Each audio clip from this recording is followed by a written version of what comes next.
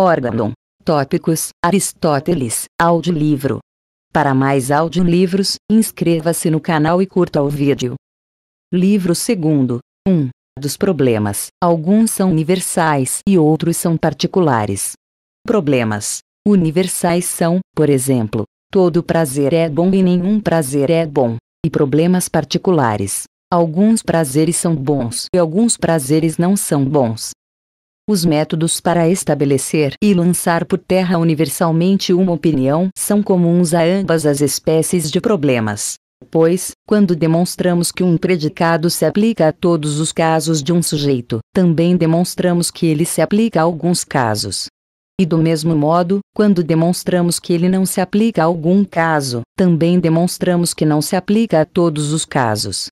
Em primeiro lugar, pois, falaremos dos métodos de rebater universalmente um ponto de vista, pois esses são comuns tanto aos problemas universais como aos particulares, e porque as pessoas mais comumente estabelecem teses afirmando predicados do que negando-os, enquanto os que discutem com elas procuram rebatê-los.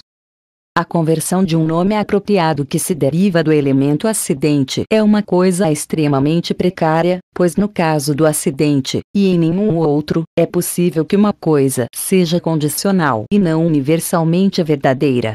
Os nomes derivados dos elementos definição, propriedade e gênero são necessariamente conversíveis. Por exemplo, se ser um animal que anda com dois pés é um atributo de S, também será verdadeiro dizer, por conversão, que S é um animal que anda com dois pés. E do mesmo modo, quando se deriva do gênero, porque, se ser um animal é um atributo de S, então S é um animal. Igualmente no caso de uma propriedade, pois se ser capaz de aprender gramática é um atributo de S, então S será capaz de aprender gramática. Com efeito, nenhum destes atributos pode pertencer ou deixar de pertencer ao seu sujeito em parte. Devem pertencer ou não pertencer de forma absoluta. No caso dos acidentes, por outro lado, nada impede que um atributo, a brancura ou a justiça, por exemplo, pertence em parte ao seu sujeito, de modo que não basta mostrar que a brancura ou a justiça é um atributo de um homem para provar que ele é branco ou justo, pois isso fica sujeito à contestação e a dizer-se que ele é branco ou justo apenas em parte. A conversão, por conseguinte, não se dá necessariamente no caso dos acidentes. Devemos também definir os erros que ocorrem nos problemas. São eles de duas espécies, causados ou por um juízo falso, ou por uma transgressão da linguagem corrente. Porquanto aqueles que formulam juízos falsos, afirmando que um atributo pertence a uma coisa quando não lhe pertence, cometem um erro e aquele que chama os objetos pelos nomes de outros objetos, por exemplo, chamando o homem a um plátano, transgride a terminologia estabelecida. 2. Ora bem, uma regra utópica é examinar se um homem atribuiu como acidente o que pertence ao sujeito de alguma outra maneira. Esse erro se comete mais comumente no que se refere aos gêneros das coisas, como, por exemplo, se alguém dissesse que o branco é acidentalmente uma cor, pois ser uma cor não é um acidente do branco, mas sim o seu gênero. O que afirma pode, naturalmente, defini-lo assim, usando essas mesmas palavras e dizendo, por exemplo, que a justiça é acidentalmente uma virtude, Muitas vezes, porém, mesmo sem tais definições, é evidente que ele apresentou o gênero como se fosse um acidente. Suponha-se, por exemplo, que alguém dissesse que a brancura é colorida ou que o passear está em movimento. Com efeito, um predicado derivado do gênero nunca se aplica à espécie sob uma forma derivada ou inflectida, mas os gêneros sempre se predicam literalmente das espécies, já que as espécies assumem tanto o nome como a definição de seus gêneros. Portanto, o homem que diz que o branco é colorido não apresentou colorido como o gênero do branco, visto ter usado uma forma derivada, nem tampouco como uma propriedade só ou como a sua definição pois a definição e a propriedade de uma coisa pertencem a ele e a nada mais, ao passo que há muitas coisas, além do branco, que são coloridas, como um leno, uma pedra, um homem, um cavalo. É evidente, pois, que ele o expressa como um acidente. Outra regra é examinar todos os casos em que se afirmou ou se negou universalmente que um predicado pertence a alguma coisa. É preciso encará-las, espécie por espécie, e não em sua infinita multidão, pois assim a pesquisa será mais direta e mais rápida. Deve-se considerar primeiro os grupos mais primários e começar por eles, avançando em ordem até aqueles que já não são divisíveis. Se, por exemplo, um homem disse que o conhecimento dos opostos é o mesmo, deve-se examinar se assim no tocante aos opostos relativos, aos contrários, aos termos que significam a privação ou a presença de certos estados, e aos termos contraditórios, depois, se a consideração desses casos não nos forneceu nenhum resultado evidente, devemos dividi-los novamente até chegar aos que já não são divisíveis, e examinar, por exemplo, se assim acontece com os atos justos e injustos, ou com o dobro e a metade, ou com a cegueira e a visão, ou com o ser e o não ser porque, se em qualquer desses casos se demonstra que o conhecimento que se tem dos opostos não é o mesmo, teremos demolido o problema. E com tanto mais razão se o predicado não pertence ao sujeito em nenhum caso. Esta regra é conversível com fins tanto destrutivos como construtivos. Porque, se depois de termos sugerido uma divisão, o predicado parece ser válido em todos os casos ou em grande número deles, podemos exigir que o outro o afirme universalmente, ou então apresente um exemplo negativo para mostrar em que caso o predicado não é válido, já que, se ele não fizer nenhuma dessas coisas, o negar-se a afirmar o colocará numa posição absurda. Outra regra é dar definições tanto de um acidente como do seu sujeito, quer de ambos separadamente, quer de um deles só, e depois examinar se alguma falsidade foi admitida como verdadeira nas definições. Assim, por exemplo, para ver se é possível fazer injustiça a um Deus, pergunte-se o que é fazer injustiça. Porque, se é causar dano deliberadamente, é evidente que não se pode fazer injustiça a um Deus, porque Deus não é passível de qualquer espécie de dano. Ou, então, para ver se o homem bom é invejoso, pergunte-se quem é o homem invejoso e o que é inveja. Porque, se a inveja é a dor causada pelo êxito aparente de uma pessoa de boa conduta, evidentemente o homem bom não é invejoso, porque, nesse caso, seria mal.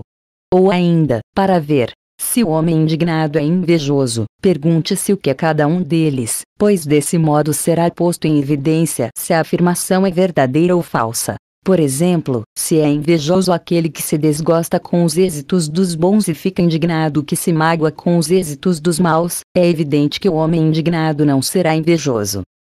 Devemos também substituir os termos contidos em nossas definições por outras definições, e não nos determos até que cheguemos a um termo familiar. Porque muitas vezes, se a definição se formula inteira, o ponto em questão não fica aclarado, mas, se substituirmos um dos termos usados na definição pela sua própria definição, ele se tornará evidente. Além disso, devemos nós mesmos apresentar o problema sob a forma de uma proposição e depois aduzir um exemplo negativo contra ela, pois esse exemplo negativo será uma base de ataque e asserção. Esta regra é quase idêntica àquela que nos manda examinar os casos em que um predicado foi afirmado ou negado universalmente, mas difere dela no arranjo do argumento. Deve-se, também, definir que espécies de coisas devem ser chamadas como as chama a maioria dos homens, e quais as que devem receber outro nome. Porque isso é útil tanto para estabelecer como para rebater um ponto de vista. Por exemplo, diríamos que nossos termos devem ser usados para significar as mesmas coisas que a maioria das pessoas significam com eles, mas quando perguntamos que classe de coisas são de tal ou tal espécie, não devemos acompanhar aqui a multidão. Por exemplo, é acertado chamar da saudável tudo que tende a promover a saúde, como faz a maioria dos homens mas ao dizer-se o objeto que temos diante de nós tende ou não a promover a saúde, já não convém adotar a linguagem da multidão, e sim a do médico. 3. Além disso, se o termo é usado em diversos sentidos e se estabeleceu que ele é ou não é um atributo de S, deve-se demonstrar o argumento pelo menos num dos vários sentidos, se não é possível fazê-lo em todos. Esta regra deve ser observada nos casos em que a diferença de significados passa despercebida. Pois, supondo-se que ela seja evidente, o adversário objetará que o ponto que ele pôs em questão não foi discutido, mas sim um outro ponto. Este tópico ou lugar é conversível tanto com o fim de estabelecer um ponto de vista como de lançá-lo por terra.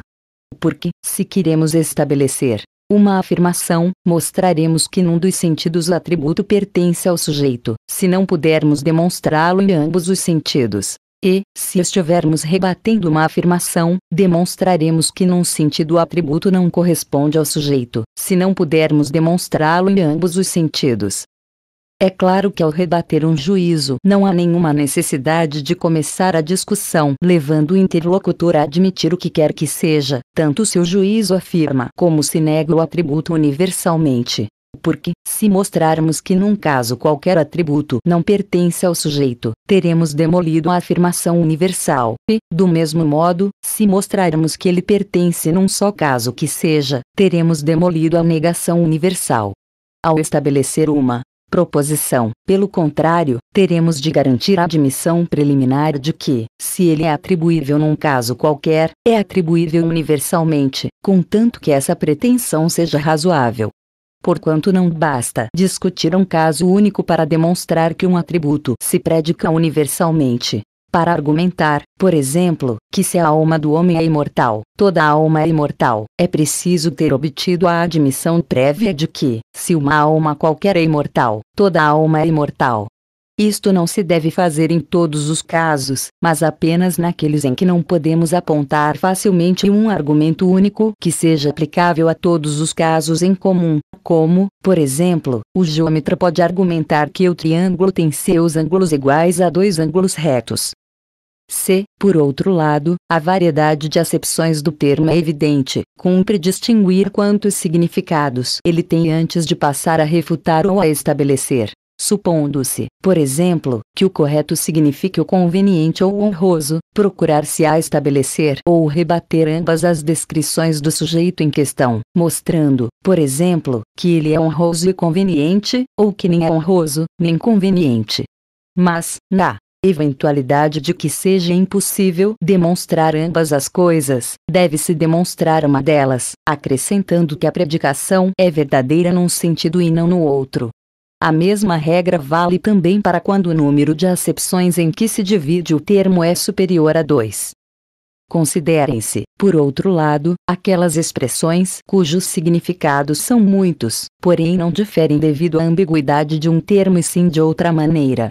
Por exemplo, a ciência de muitas coisas é uma só. Aqui, muitas coisas pode significar tanto o fim como os meios que conduzem a esse fim, como, por exemplo, a medicina tanto é a ciência de produzir a saúde como da maneira de observar uma dieta. Ou ambas podem ser fins, como quando se diz que a ciência dos contrários é a mesma, pois, entre os contrários, um deles não é mais fim do que o outro. Ou, então, pode tratar-se de um atributo essencial e de outro acidental, como, por exemplo, o fato essencial de que o triângulo tem seus ângulos iguais a dois ângulos retos, e o fato acidental de que a figura equilátera também possua essa propriedade, pois é devido ao acidente de ser um equilátero um triângulo que sabemos que ele tem seus ângulos iguais a dois ângulos retos.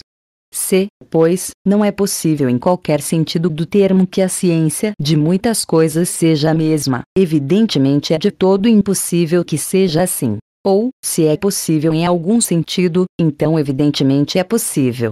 Distingam-se tantos significados quantos forem necessários. Por exemplo, se queremos estabelecer um ponto de vista, devemos pôr em evidência todos aqueles significados que admitam esse ponto de vista, e dividi-lo apenas naqueles significados que são necessários para estabelecer a nossa tese. Ao passo que, se queremos rebater um ponto de vista, devemos trazer à luz todos os que não admitem esse ponto de vista e deixar o resto de lado. Nesses casos é também necessário levar em conta qualquer incerteza a respeito do número de significados envolvidos. Além disso, que uma coisa é ou não é de outra deve ser estabelecido por meio das mesmas normas ou lugares. por exemplo, que uma determinada ciência é de uma determinada coisa, tratada como um fim, como meio para alcançar um fim, ou como acidentalmente relacionada com ela. Ou, então, que não é de tal coisa em nenhum dos sentidos ou maneira indicados acima. A mesma regra vale também para o desejo e todos os outros termos que têm mais de um objeto porquanto o desejo de X pode significar o desejo dele como um fim, como o desejo da saúde, ou como um meio para a consecução de um fim, como o desejo de ser medicado, ou como uma coisa desejada acidentalmente, como acontece no caso do vinho, que a pessoa gulosa deseja não por ser vinho, mas por ser doce. Com efeito, essa pessoa deseja essencialmente o doce, e apenas acidentalmente o vinho porque, se este for seco, já não o desejará. Seu desejo pelo vinho é, portanto, acidental. Esta regra é útil ao tratar com termos relativos, pois os casos deste tipo são geralmente casos de termos relativos. 4. É bom, além disso, trocar um termo por outro mais familiar, substituir, por exemplo, exato por claro ao descrever uma concepção, e estar ocupado por estar atrapalhado, pois quando a expressão é mais familiar torna-se mais fácil atacar a tese. Esta norma é também utilizável para ambos os fins, isto é, tanto para estabelecer como para lançar por terra um ponto de vista a fim de mostrar que atributos contrários pertencem à mesma coisa, atente-se no seu gênero. Por exemplo, se queremos demonstrar que a exatidão e o erro são possíveis no que se refere à percepção sensível, e perceber é julgar, dado que é possível julgar exata ou erroneamente, também no tocante à percepção devem ser possíveis a exatidão e o erro. No exemplo presente há prova procede do gênero e passa deste à espécie, porquanto julgar é o gênero de perceber, e o homem que percebe julga de certa maneira. Mas, pode seguir a direção contrária e ir da espécie para o gênero, pois todos os atributos que pertencem à espécie pertencem igualmente ao gênero. Por exemplo, se há um conhecimento mau e um conhecimento bom, há também uma boa e uma má disposição, porquanto disposição é o gênero de conhecimento. Ora, o primeiro argumento tópico é falaz quando se trata de estabelecer um ponto de vista, ao passo que o segundo é verdadeiro. Com efeito, não é necessário que todos os atributos pertencentes ao gênero também pertençam à espécie. Animal, por exemplo, é volátil e quadrúpede, porém não assim homem. Por outro lado, todos os atributos que pertencem à espécie devem necessariamente pertencer também ao gênero porque, se homem é bom, então animal também é bom. E, ao contrário, para o fim de demolir uma opinião, o primeiro tópico é verdadeiro, enquanto o segundo é falaz, já que todos os atributos que não pertencem ao gênero não pertencem tampouco à espécie, ao passo que todos os que faltam à espécie não faltam necessariamente ao gênero como aquelas coisas das quais se predica o gênero devem necessariamente ter também uma das espécies deste que se predique delas, e como aquelas coisas que estão na posse do gênero em questão ou são descritas por termos derivados desse gênero devem também necessariamente estar na posse de uma de suas espécies e ser descritas por termos derivados de uma dessas espécies, por exemplo, se alguma coisa se aplica o termo conhecimento científico, então se aplicará também a ela o conhecimento gramatical ou musical, ou o conhecimento de uma das outras ciências. E se alguém possui conhecimento científico ou é descrito por um termo derivado de ciência, esse alguém também possuirá o conhecimento gramatical, o musical, ou o conhecimento de alguma das demais ciências, ou será descrito por um termo derivado de uma delas, como, por exemplo, gramático ou músico, por conseguinte, se se afirma que uma expressão qualquer é de algum modo derivada do gênero, por exemplo, que a alma está em movimento, procure-se ver se a alma pode ser movida com alguma das espécies de movimento, se, por exemplo, ela pode crescer, ser destruída ou gerar-se, e do mesmo modo com respeito a todas as demais espécies de movimento. Porque, se a alma não se move de nenhuma dessas maneiras, evidentemente não se move em absoluto. Este tópico serve, para ambos os propósitos, tanto para desbaratar como para estabelecer uma opinião. Pois, se a alma se move com alguma das espécies de movimento, é evidente que se move. E, se não se move com nenhuma das espécies de movimentos, é evidente que não se move. Se alguém não estiver bem provido de um argumento contra a afirmação, procure entre as definições, reais ou aparentes, da coisa que tem diante de si, e se uma não for suficiente, lance mão de várias. Com efeito, será mais fácil rebater uma pessoa quando presa a uma definição, pois as definições são sempre mais fáceis de atacar. Examine-se além disso, com respeito à coisa em questão, que é aquilo cuja realidade condiciona a realidade da mesma, ou cuja realidade se segue necessariamente da realidade da coisa em questão. Se se deseja estabelecer um ponto de vista ou opinião, é preciso investigar que coisa existe de cuja realidade se seguirá a realidade da coisa em questão, porque, se demonstrarmos que a primeira é real, também teremos demonstrado que a coisa em questão é real. Se, pelo contrário, se deseja desmantelar uma opinião, deve-se perguntar que coisa é real se a coisa em questão é real, porque, se demonstrarmos que o que se segue da coisa em questão é irreal, teremos rebatido essa mesma coisa. Considere-se também o tempo implicado, para ver se há discrepância em alguma parte. Suponha-se, por exemplo, que um homem afirmou que o que é alimentado cresce necessariamente, pois os animais estão sempre sendo necessariamente alimentados, mas nem sempre crescem. E também da mesma forma se ele disse que conhecer é lembrar-se, porque uma dessas coisas diz respeito ao tempo passado, enquanto a outra tem que ver igualmente com o presente e com o futuro. Disse, com efeito, que conhecemos as coisas presentes e futuras, por exemplo, que haverá um eclipse, ao passo que é impossível lembrar-se de nada que não pertence ao passado. 5. Existe, além disso, o desvio sofístico do argumento, mediante o qual levamos nosso adversário a fazer a espécie de afirmação contra a qual estamos bem providos de linhas de argumentação.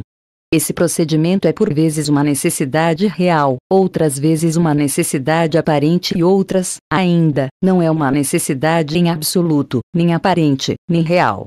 É realmente necessário, sempre que o que responde tenha negado algum ponto de vista que seja útil no ataque à tese, e o que pergunta dirige então os seus argumentos no sentido de apoiar o seu ponto de vista, sendo este um daqueles sobre os quais ele está bem provido de tópicos é também realmente necessário sempre que ele, o que interroga, tendo chegado previamente a uma certa afirmação por meio de uma indução feita a partir da opinião expressa, procure depois demolir essa afirmação. Porque, uma vez demolida esta, a opinião expressa originalmente fica também refutada, é uma necessidade aparente quando o ponto para o qual passa a dirigir-se a discussão parece ser útil e relevante para a tese sem o ser realmente, quer porque o homem que se opõe ao argumento se tenha recusado a conceder alguma coisa, quer porque ele, o que pergunta, tenha previamente chegado a ela por uma indução plausível baseada na tese, e trate então de demoli-la. O caso restante é quando o ponto a que a discussão passou a dirigir-se não é nem realmente, nem aparentemente necessário, e, por sorte do contendente, é refutado numa simples questão secundária. Deve-se ter cautela com o último dos métodos mencionados, pois parece estar completamente desvinculado da arte da dialética e ser totalmente estranho a ela. Por essa mesma razão, o contendente não deve perder a calma, mas dar seu assentimento a afirmações que nenhuma utilidade têm no ataque à tese, acrescentando uma indicação sempre que assente, embora não esteja concorde com o ponto de vista. Porquanto, em via de regra, a confusão dos que perguntam torna-se maior se, depois de lhes terem sido concedidas todas as proposições dessa espécie, não podem chegar a conclusão alguma. Além disso, quem tenha feito uma afirmação qualquer fez, em certo sentido, várias afirmações, dado que cada afirmação tem um número de consequências necessárias. Por exemplo, quem disse X é um homem também disse que ele é um animal, que é um ser animado e um bípede, e que é capaz de adquirir razão e conhecimento, de forma que, pela demolição de uma só destas consequências, seja ela qual for, a afirmação original é igualmente demolida. Mas aqui também é preciso acautelar-se para não passar a um argumento mais difícil, pois às vezes é a consequência e outras vezes a tese original é mais fácil de refutar. 6. Com respeito aos sujeitos que devem ter um, e apenas um, dentre dois predicados, como, por exemplo, um homem deve ter ou bem doença, ou bem saúde, supondo-se que no tocante a um deles estejamos bem providos de argumentos para afirmar a sua presença ou ausência, estaremos igualmente bem documentados no que se refere ao outro. Este tópico é conversível para ambos os fins, Pois, quando houvermos demonstrado que um dos argumentos pertence ao sujeito, teremos demonstrado também que o outro não lhe pertence. E, se demonstrarmos que um deles não lhe pertence, teremos demonstrado a predicabilidade do outro.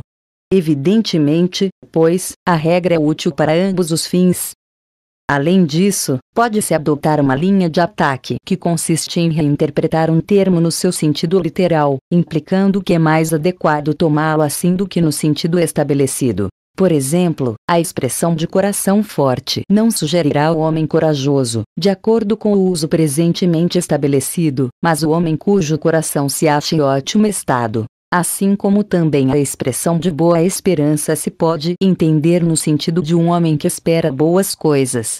E analogamente, de boa estrela se pode tomar no significado do homem cuja estrela é boa, como diz Xenócrates. De boa estrela é aquele que possui uma alma nobre. Pois a estrela de um homem é a sua alma. Algumas coisas acontecem por necessidade, outras habitualmente, outras por acaso. Se, portanto, se afirmou que um acontecimento necessário ocorre habitualmente, ou que um acontecimento usual, ou, na falta de tal acontecimento, o seu contrário, ocorre necessariamente, isso sempre fornece um ensejo para atacar. Porque, se alguém afirmou que um acontecimento necessário ocorre habitualmente, é claro que esse homem negou a universalidade de um atributo universal, cometendo, pois, um erro. E da mesma forma se declarou que o atributo usual é necessário, pois então declara que ele se predica universalmente, quando não é assim. E analogamente se sustenta ser necessário o contrário do que é habitual. Porque o contrário de um atributo usual é sempre um atributo relativamente raro, por exemplo, se os homens são habitualmente maus, é relativamente raro encontrar um homem bom, de modo que o erro do contendor é ainda pior se afirmou que eles são necessariamente bons. O mesmo é verdadeiro se ele afirmou que uma simples questão de acaso ocorre necessária ou habitualmente, pois um fato eventual não acontece nem necessária, nem habitualmente. Se a coisa acontece, habitualmente, então, mesmo supondo-se que sua afirmação não deixe bem claro se ele entende que a coisa em questão sucede habitualmente ou de forma necessária, dá margem a que a contestemos na suposição de que o caso seja este último. Por exemplo, se ele afirmou, sem fazer distinção alguma, que as pessoas deserdadas são más, podemos supor, na discussão, que ele quis dizer que tais pessoas são assim necessariamente, é preciso também verificar se ele por acaso afirmou que uma coisa é um acidente de si mesma, tomando-a por algo diferente porque tem um nome distinto, como pródigo, que divide os prazeres em alegria, deleite e regozijo, pois todos estes são sinônimos da mesma coisa, isto é, prazer. Se, pois, alguém, Dizer que alegria é um atributo acidental de regozijo, estará dizendo que ela é um atributo acidental de si mesma.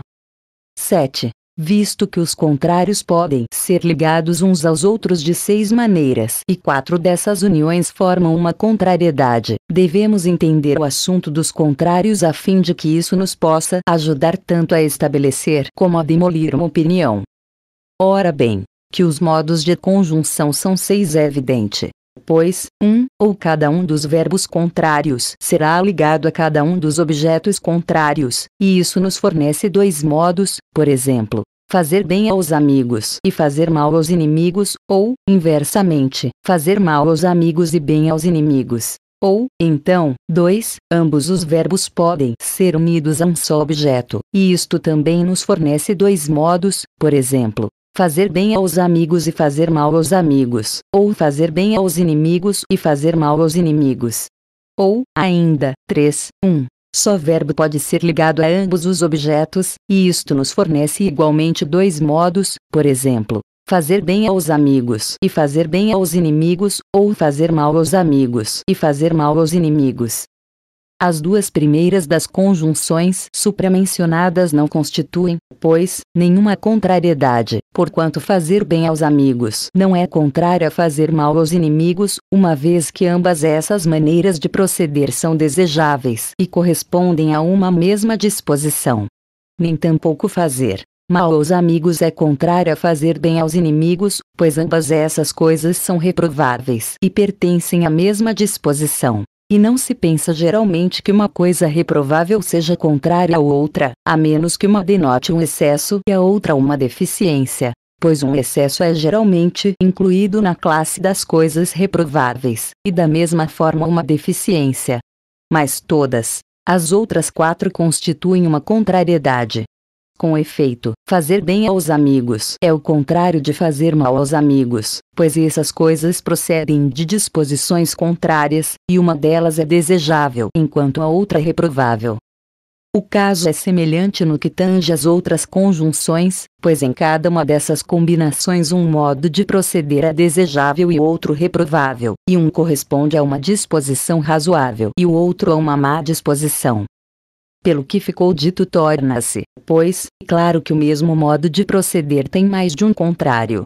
Com efeito, fazer bem aos amigos tem como contrários tanto fazer mal aos amigos como fazer bem aos inimigos. E, se os examinarmos do mesmo ângulo, veremos que os contrários de cada um dos outros também são em número de dois. Escolha-se, portanto, qualquer dos dois contrários que seja útil para atacar uma tese.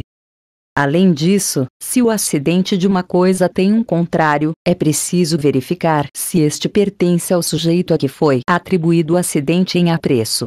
Porque, se o segundo lhe pertence, não pode pertencer-lhe o primeiro, visto ser impossível que predicados contrários pertençam simultaneamente à mesma coisa. Deve-se examinar, por outro lado, se de alguma coisa foi dita outra coisa de tal índole que, se for verdadeira, predicados contrários devem necessariamente pertencer à primeira. Por exemplo, se o contendor afirmou que as ideias existem em nós, pois daí resultará que elas estão ao mesmo tempo em movimento e em repouso, e, além disso, que são objetos tanto de sensação como de conhecimento. Com efeito, de acordo com as opiniões dos que afirmam a existência de ideias, essas ideias estão em repouso e são objetos de conhecimento. Ora, se elas existem em nós, é impossível que estejam imóveis. Pois quando nos movemos, segue-se necessariamente que tudo que em nós existe se move juntamente conosco não é menos evidente que também são objetos de sensação, se existem em nós, pois é pela sensação da vista que reconhecemos a forma presente em cada indivíduo. Se se afirmou um acidente que tem um contrário, é preciso ver se aquilo que admite o acidente admite também o seu contrário, pois uma mesma coisa admite contrários. Assim, por exemplo, se o contendor afirmou que o ódio se segue à cólera, o ódio pertenceria, nesse caso, à faculdade emotiva, pois é a essa que pertence a cólera. Deve-se, por conseguinte, verificar se o seu contrário, a saber, a amizade, também pertence à faculdade emotiva. Porque se assim não for, se a amizade pertence à faculdade do desejo, então o ódio não pode seguir-se à cólera, e de maneira análoga, se o outro afirmou que o desejo é ignorante.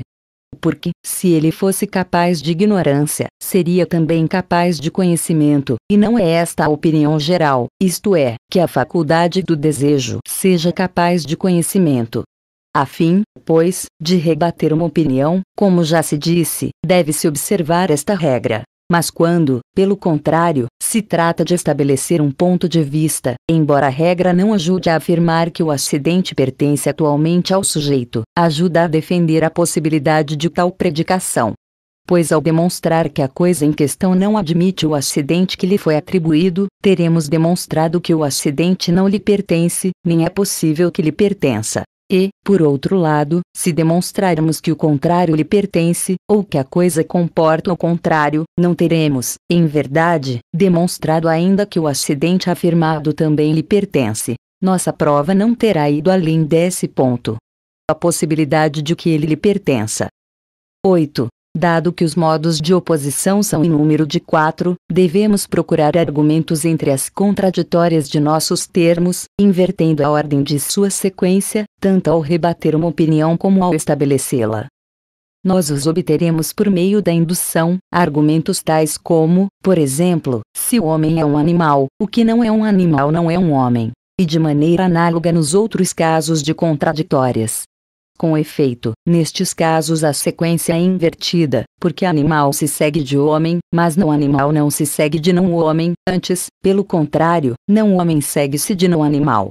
Em todos os casos, por conseguinte, deve-se fazer um postulado desta espécie, por exemplo, que se o honroso é agradável, o que não é agradável não é honroso. E, se este último é falso, também o será o primeiro. E, do mesmo modo, se o que não é agradável não é honroso, então o que é honroso é agradável. Evidentemente, pois, a inversão da sequência formada pela contradição dos termos é um método conversível para ambos os fins. Examine-se, a seguir, o caso dos contrários de S e P na tese para ver se o contrário de um se segue ao contrário do outro, quer diretamente, quer por conversão, tanto quando se rebate como quando se estabelece uma opinião convém munir-se de argumentos desta espécie também por meio da indução, na medida em que isso for necessário. Ora, a sequência é direta num caso como o da coragem e da covardia, pois de uma delas se segue a virtude e da outra o vício, e de uma se segue o que é desejável, enquanto da outra se segue o que é reprovável. Portanto, a sequência é também direta no segundo caso, pois o desejável é o contrário do reprovável. E do mesmo modo nos outros casos. Por outro lado, a sequência é inversa num caso como o seguinte: a saúde é consequência do vigor, mas a doença não é consequência da fraqueza. Seria mais certo dizer que a fraqueza é consequência da doença. Neste caso, pois, é evidente que a sequência é inversa. Esta é, todavia, rara no caso dos contrários. Aí, habitualmente, a sequência é direta. Se, pois, o contrário de um dos termos não se segue do contrário do outro nem direta, nem inversamente, é evidente que tampouco um dos termos se segue do outro na afirmação feita, ao passo que, se um é consequência do outro no caso dos contrários, também deve necessariamente ser assim na afirmação inicial. Devem-se também examinar os casos de privação ou presença de um estado do mesmo modo que no caso dos contrários. Acontece, apenas, que em tais casos não ocorre a sequência inversa. Ela é, forçosamente, sempre direta. Por exemplo, a sensação é consequência da vista, ao passo que a ausência de sensação é consequência da cegueira.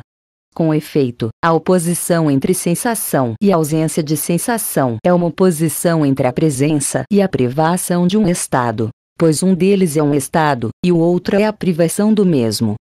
O caso dos termos relativos também deve ser estudado da mesma maneira que o de um estado e da sua privação, pois aqui a sequência também é direta. Por exemplo, se 3, 1 é um múltiplo, então um terço é uma fração, pois 3, 1 é relativo a um terço, assim como um múltiplo é relativo a uma fração. Igualmente, se o conhecimento é um modo de conceber, o objeto do conhecimento também será um objeto de concepção. E se a vista é uma sensação, também o objeto da vista será um objeto de sensação. Poder-se-ia levantar aqui a objeção de que, no caso dos termos relativos, não há nenhuma necessidade de ocorrer a sequência da maneira descrita, pois o objeto de sensação é um objeto de conhecimento, ao passo que a sensação não é conhecimento. Essa objeção, contudo, não se admite em geral como realmente válida, pois muitos negam que haja um conhecimento de objetos de sensação. Além disso, o princípio formulado não tem menos utilidade para o propósito contrário, isto é, para demonstrar que o objeto de sensação não é um objeto de conhecimento, apoiando-se em que tampouco a sensação é conhecimento. 9 convém examinar também os coordenados e as formas derivadas dos termos que constituem a tese, tanto ao refutá-la como ao estabelecê-la. Entendem-se por coordenados termos como os seguintes: Ações justas e homem justo são coordenados de justiça, e atos corajosos e homem corajoso são coordenados de coragem. Analogamente, também as coisas, que tendem para produzir e conservar alguma coisa, chamam-se coordenadas daquilo que tendem a produzir ou conservar, como, por exemplo, hábitos saudáveis são coordenados de saúde, e um exercício vigoroso de uma constituição vigorosa, e de modo análogo também em outros casos. Coordenado, pois, designa geralmente casos como os que acabamos de mencionar, enquanto formas derivadas são justamente, corajosamente, saudavelmente e outras formadas da mesma maneira. Em geral se admite que as palavras usadas em suas formas derivadas são também coordenadas, como, por exemplo, justamente em relação à justiça e corajosamente à coragem. Segundo este ponto de vista, coordenado designa todos os membros da mesma série de termos afins, como, por exemplo, justiça, justo aplicado a um homem ou a um ato, justamente.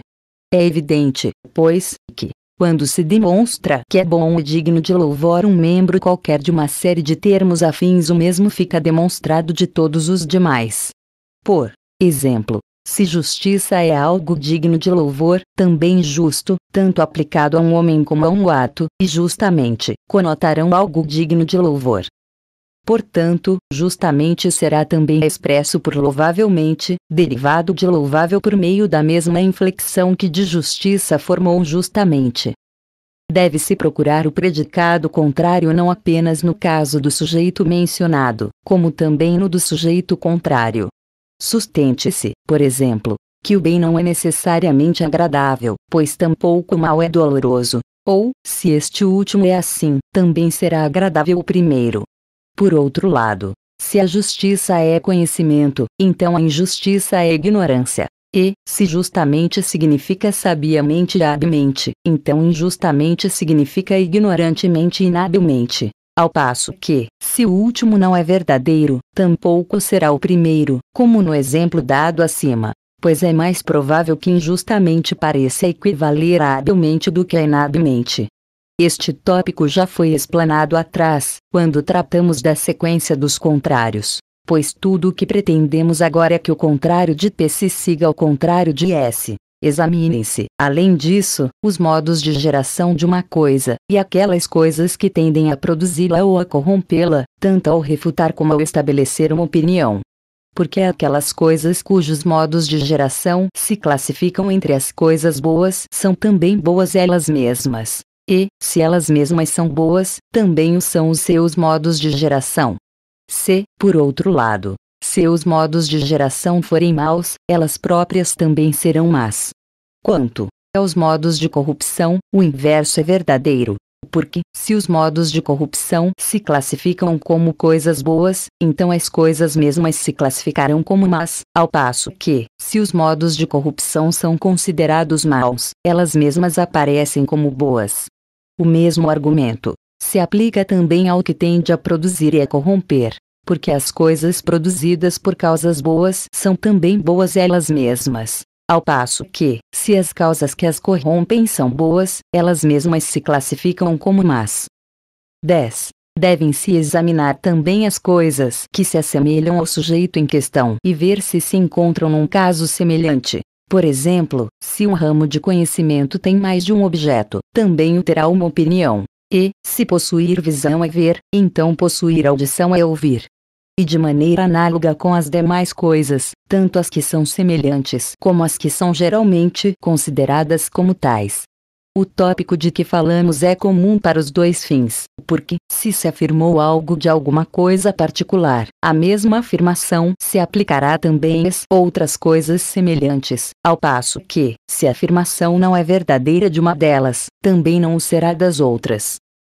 Procure-se ver também se os casos são semelhantes com respeito a uma só coisa e com respeito a várias coisas, pois às vezes deparamos com uma discrepância.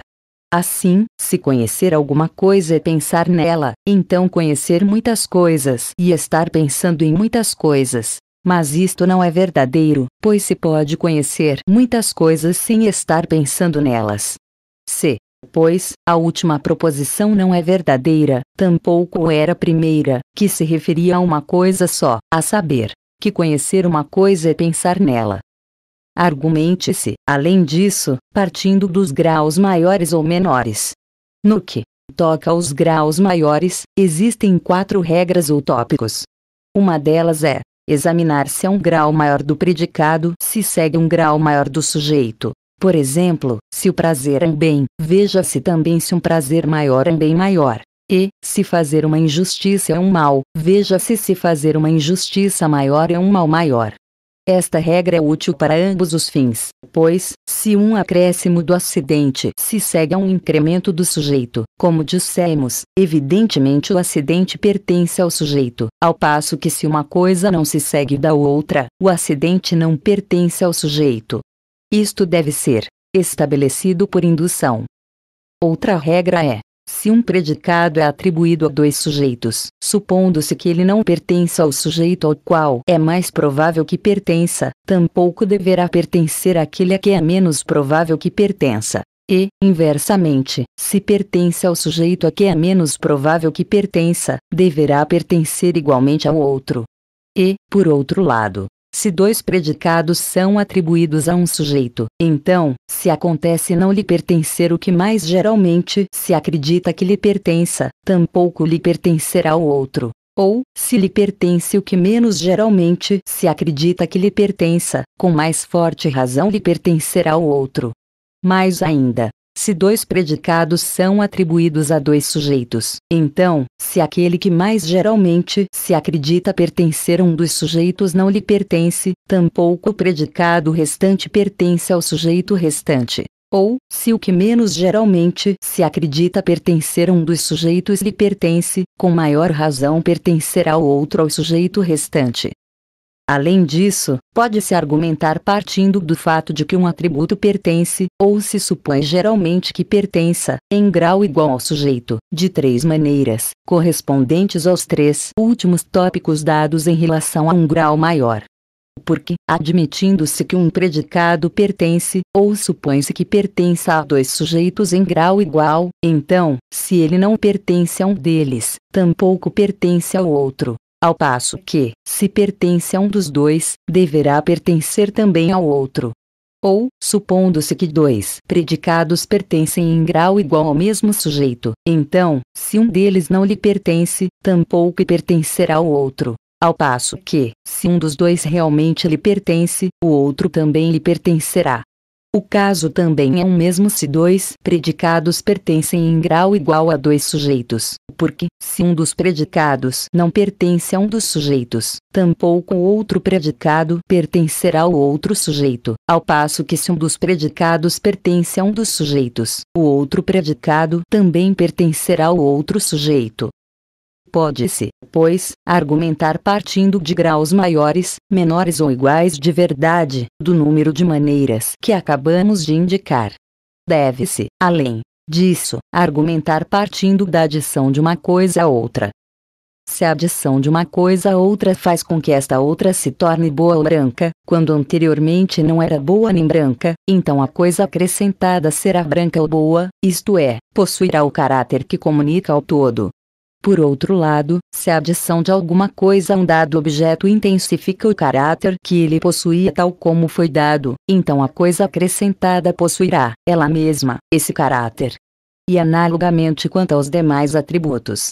Esta regra não é aplicável a todos os casos, mas apenas àqueles em que se veja realmente que ocorre o excesso descrito por nós como intensidade aumentada, não é esta regra, no entanto, conversível para o fim de refutar uma opinião. Porque, se a coisa acrescentada não torna a outra boa, nem por isso é evidente que ela mesma não seja boa. Com efeito, a adição do bom ao mal não faz necessariamente com que o mal se torne bom, como a adição do branco ao preto não faz com que o preto se torne branco. Por outro lado, qualquer predicado de que possamos expressar graus maiores ou menores de inerência pertence também absolutamente ao sujeito, pois graus maiores de bom ou branco não se atribuirão ao que não é bom ou branco. De uma coisa má nunca se dirá que possui um grau maior ou menor de bondade do que outra, mas sempre de maldade.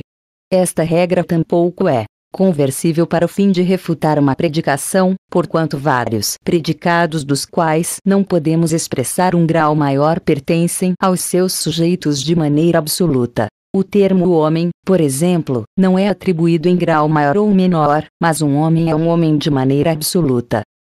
Devem-se examinar do mesmo modo os predicados que se atribuem sob um aspecto determinado e num tempo e lugar dados.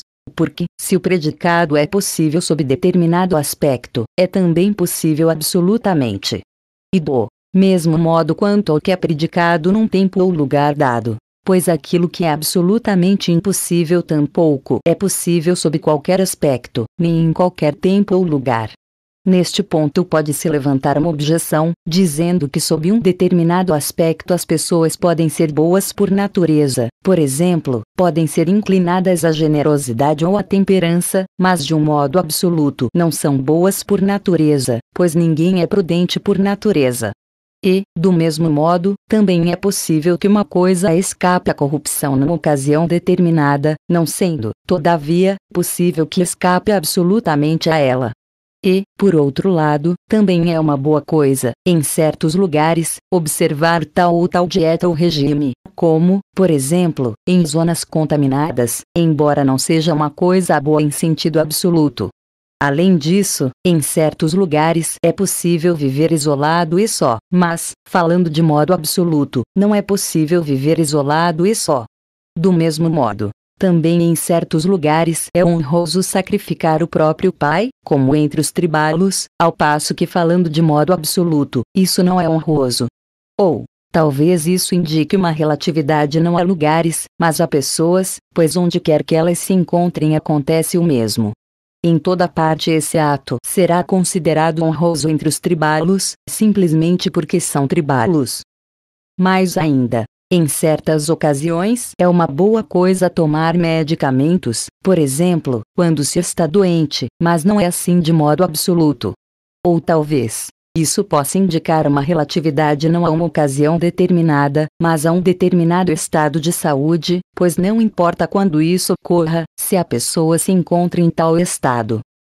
Uma coisa é absolutamente assim se estamos dispostos a dizer dela, sem qualquer adição, que é honrosa ou contrário. Negaremos, por exemplo, que seja honroso sacrificar o próprio pai. Isso só é honroso para determinada gente não é, por conseguinte, honroso em sentido absoluto. Em compensação, diremos que honrar os deuses é honroso sem acrescentar mais nada, porque é honroso em sentido absoluto. E assim, de tudo aquilo que, sem qualquer adição, se considere geralmente honroso ou desonroso, ou SS de qualquer outra coisa da mesma espécie, se dirá que é assim absolutamente.